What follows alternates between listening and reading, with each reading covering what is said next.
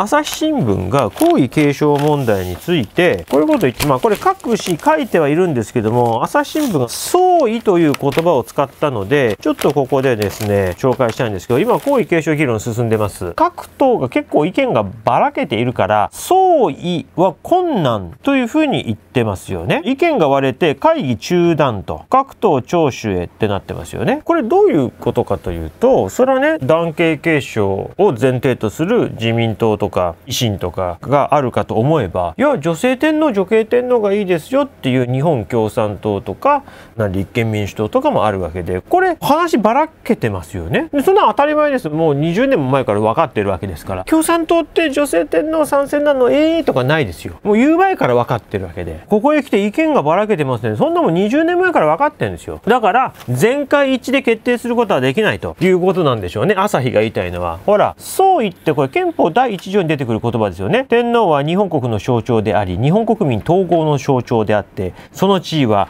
日本国民の総意に基づくと書いてある。これ憲法第1条。天皇の地位は日本国民の総意に基づくと。だからこの皇位継承の議論も全会一致を目指すべきであって共産党とか立憲民主党が違う意見があったとしても強行採決でね突破なんてことは許されないんだという前提の話なんでしょうけどもそもそもその憲法解釈が間違ってますしそう言ってそういう意味じゃないんですよね。今回のこの皇位継承の議論は全会一致を目指しちゃダメですよ。上位特例法は総意を目指しましたけどもこの皇位継承のルールは皇室が皇室であることの根本ですから一丁目一番地ですからね。千代田区千代田1の1の1と一緒ですからね。ちなみに宮内庁の住所はそうなんですけども。ここは譲歩しちゃいけないんですよ。だって男系の口頭を守れるか守れないかのどっちかしかなくて中間はないんです。4割守れたかなとかないですよ。2割5分守れたとかないですよ。口頭は守れるか守れないかどちらかしかないんですね。だからリスクを1ミリでも高めるようなことはしてはいけないんです。だから男系維持のために必要な措置を取ればいいだけで。でも共産党もこう言ってるからこういう場合は女系天皇ありって入れようとかね。そんなあっちゃダメなんですよ。晩作尽きた先には女系天皇ありみたいなね。そんなの書いちゃいけないわけですね。こんなアホなこと言ってんの。却下すればいいだけの話で。そもそも前回一致なんか狙ってはいけないんですよ。旧皇族からね養子を取れるようにするなんていうのは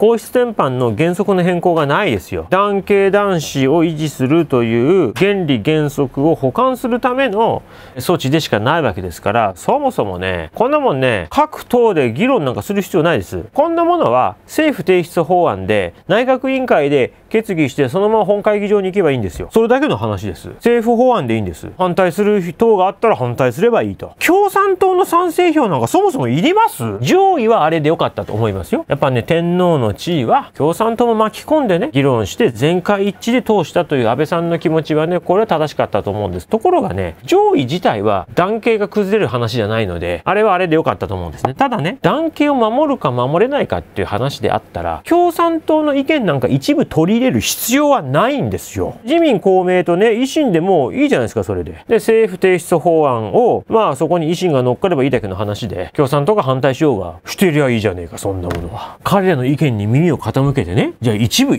取り込む必要はないんですよそんなもの。そもそも各党で意見が一致する必要もないし意見が割れて会議中断総意は困難ってなんか全会一致前提みたいな話ですけども。別にね政府提出法案でも総意ですよ。だって総意って全会一致っていう意味じゃないですからね。言っときますけど普通だったら意思って言葉使います？国民の意思とかね。民法でも意思とか言いますでしょ？意思の献血とか意思の合致って言いますよね。総意という言葉は日本中の憲法法律政令全ての法律の中で法令の中で総意という言葉は憲法第一条にしか使われてないんですよ。全ての条文ですよ。法律政令憲法。全ての条文の中で意思って山ほど使われてますけども総意って憲法一条にしか使われてないんですです。だからね国民の意思であるっていうんだったらああ国会の議決かなと思いますけども総意なんですよね。天皇が天皇である根拠は日本国民の総意だと言ってるんです。これどういう意味です？これ、ね、国会で議決したからじゃないですよ。天皇の根拠は何々である。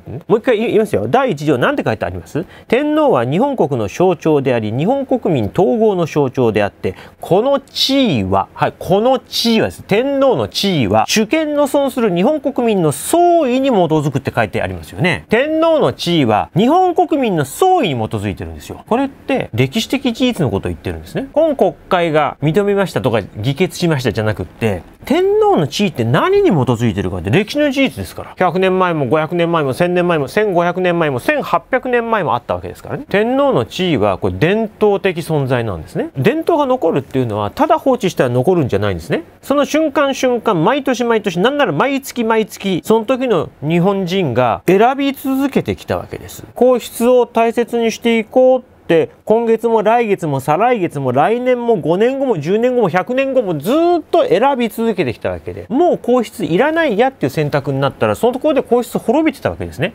皇室は必要。皇室を守りたい。皇室があってほしい。っていう選択を1800年間日本人がし続けてきたからあるわけです天皇の地位は何に基づくのか1800年間先人たちが選び続けてきた守り続けてきたこの歴史的事実なんですよこれを総意と言ってるんです。今の有権者のね、選んだ国会議員が何票票を入れるかとか、そんなレベルの低い話してんじゃないですよ。1800年間、先人たちが選び続けてきた。これが日本国民の総意に基づくということなんですね。だから前回一致でね、国会でこれ決めるとか、そういうのが総意なんだっていうのは朝日新聞が勝手に言ってるだけで、そんな憲法解釈は存在しません。で、そもそも男系維持、高等の原理に関わる問題ですから、日本共産党っていうのは、皇室を潰すために決闘した政党ですからね。そんな人の言うことを聞く必要ないですよ。もし日本共産党がね、心を入れ替えて、心の底から皇室をね、大切にして守りたいっていう政党になったんだったら、